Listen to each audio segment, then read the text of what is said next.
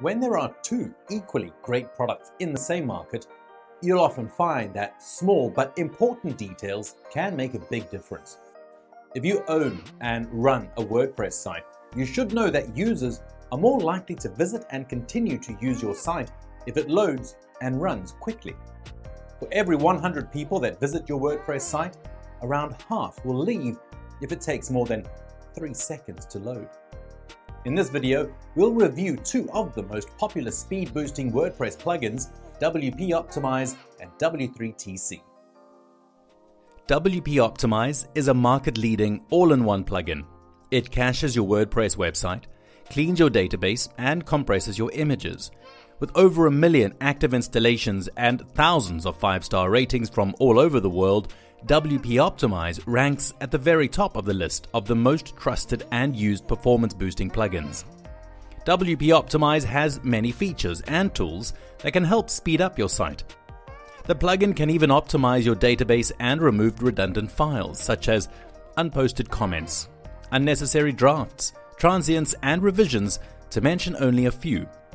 Another feature of WP Optimize not available with W3TC is the highly rated image compression feature. Now, this allows you to compress your site's image files with next to no drop off in quality. With WP Optimize, users can even determine the degree to which your images are compressed. You can also cache your site's pages using WP Optimize. By doing this, your site is able to generate a separate set of files for mobile or desktop users, as well as display personal page preferences for users that are logged in. This feature can further help boost the speed of your WordPress site. WP Optimize has both a free and a premium version available for download.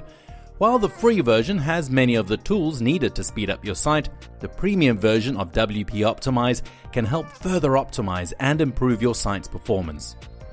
Like WP Optimize, the W3TC plugin also has more than 1 million active installations, but it ranks just behind WP Optimize in popularity and has a user review score of 4.5 stars.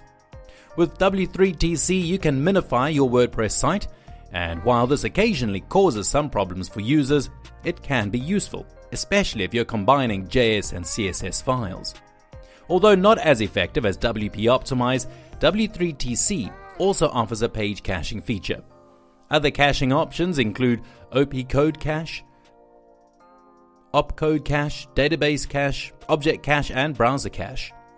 Both the free and the premium versions of W3 Total Cache feature import and export options.